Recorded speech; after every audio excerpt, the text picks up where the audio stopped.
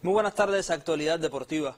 El cubano Andy Granda conquistó hoy la medalla de oro en la división de más de 100 kilogramos y se convirtió en el único exponente de nuestra delegación en alzar una presea en el Campeonato Mundial de Judo en Tashkent, Uzbekistán.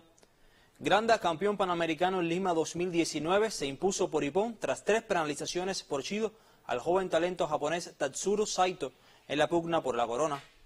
En su camino hacia el título, el de la mayor de las Antillas sometió a Roy Meyer, de Países Bajos, al campeón mundial de 2018 Guran Tuchibli, de, Georgia, a Daniel Alestorfer, de Austria, y a Richard Sipox, de Hungría. De esa manera, Cuba alcanzó su primera medalla de oro en el torneo y la única en general.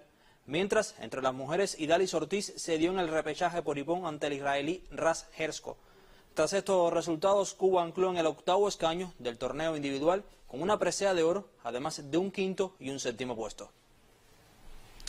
Cambiamos de tema, a poco más de un día para el debut de Cuba en el Campeonato Mundial de Béisbol Sub-23. Contactamos con el colega Pavel Otero para conocer detalles de la preparación del elenco caribeño.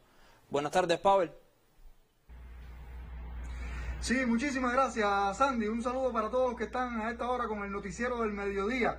Aquí estamos ya iniciando la madrugada, son pasadas la una de la madrugada, ya el equipo está descansando para mañana enfrentar una nueva jornada de entrenamiento, la última antes del inicio del campeonato del mundo. Bueno, aquí ustedes saben que con las 12 horas de diferencia es muy, muy difícil adaptarse tan rápido. Fíjense que son pasadas la una y todavía estamos despiertos y aprovechamos para hacer este contacto con el noticiero del mediodía. ¿Qué les propongo hoy? Porque como estamos en un lugar donde es muy difícil la comunicación para el cubano, donde las costumbres no son las nuestras, por supuesto que la Confederación Mundial le pone a cada delegación un representante. Y en el caso de Cuba, nuestro representante, nuestro guía, nuestro traductor, es un nicaragüense que habla muy bien el idioma local aquí porque lleva 12 años viviendo en este país. Él se llama Danilo García y aquí tenemos sus declaraciones. Bueno, ¿qué te ha parecido trabajar con la delegación cubana? muy contento porque yo soy de Nicaragua y ella con cubanos pues somos casi vecinos y yo tengo aquí 12 años de estar en Taiwán y muy contento de estar así con un equipo potente y esperar a que lleguen ahí a la, a la gran final. ¿Elegiste trabajar con Cuba o te impusieron el equipo cubano? No, la verdad que yo no me lo esperaba porque yo en realidad tenía otro equipo, pero luego por circunstancias fue a, a estar con Cuba y la verdad que bastante contento. Dice que los cubanos somos de los más eh, salsosos del continente americano. Sí, claro, y por eso cuando me tocó, pues yo estaba muy contento porque ya sabemos que la bachata y todo este, eh, la salsa es uno de los países más, más alegres de, la zona de allá y muy contento de estar con ustedes.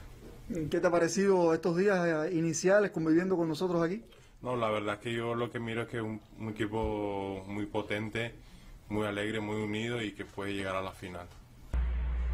Bueno, Andy, así piensan nuestros hermanos latinoamericanos de la alegría que caracteriza a los cubanos. Siempre es importante tener un guía en países como estos donde no se habla el mismo idioma, donde no está la cultura que nos caracteriza a los que vivimos en el continente americano.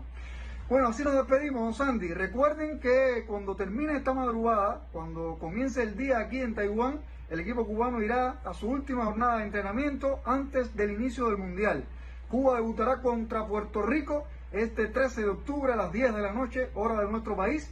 Y recuerden que ya el canal Tele Rebelde anunció que transmitirá en vivo todos los juegos de Cuba en este mundial. Así Andy, me despido. Desde aquí, desde Taiwán, te devuelvo la señal a los estudios centrales en La Habana. Muchas gracias, Pavel, por este enlace. Y la preselección cubana de Béisbol 5 continúa su preparación rumbo al Campeonato Mundial desde la sede de sus entrenamientos tenemos con más detalles al colega Duanis Hernández. Buenas tardes, Duanis. Saludos para ti, Andy José, y para los amigos televidentes. Nos encontramos en el Estadio 500 aniversario de la capital en la ciudad deportiva, donde entrena la preselección nacional de béisbol FAI rumbo al primer mundial de la disciplina que se celebrará del 7 al 13 de noviembre en el Zócalo, México.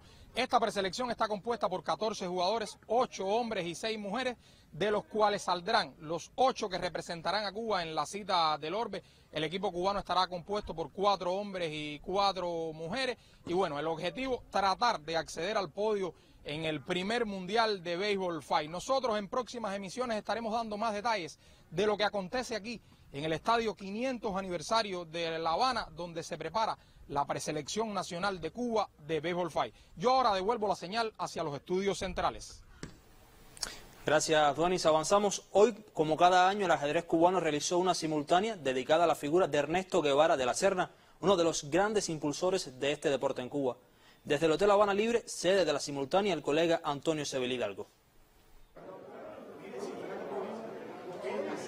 Sí, muchas gracias. Me encuentro en el Salón Solidaridad del Hotel Habana Libre, donde a esta hora tiene lugar una simultánea de ajedrez en conmemoración de Ernesto de Vara de la Serna, que siempre se escoge el mes de octubre para realizarla y de manera anual ha sido llevada a cabo gracias a la colaboración del Ministerio del Turismo, específicamente el Sindicato de Trabajadores, el Instituto Nacional de Deportes, Educación Física y Recreación INDER, en colaboración con la Federación Cubana de Ajedrez. Una simultánea donde se han dado lugar, se han dado cita varios ajedrecistas, más de 40 tableros tenemos que se medirán a maestros de la Federación Federación eh, Cubana de Ajedrez, dígase el caso de Osmel García, maestro internacional perteneciente precisamente al cuerpo de dirección de la Federación Cubana. En este lugar también está Vivian Ramón, la primera gran maestra del ajedrez femenino, y Carlos Rivero, el presidente de la Federación de nuestro país, también se encuentra, por supuesto, dirigiendo todo lo que acontece aquí en La Habana, específicamente en el Hotel Habana Libre. Es una simultánea para celebrar a la figura que más hizo por el ajedrez cubano luego del triunfo de la revolución,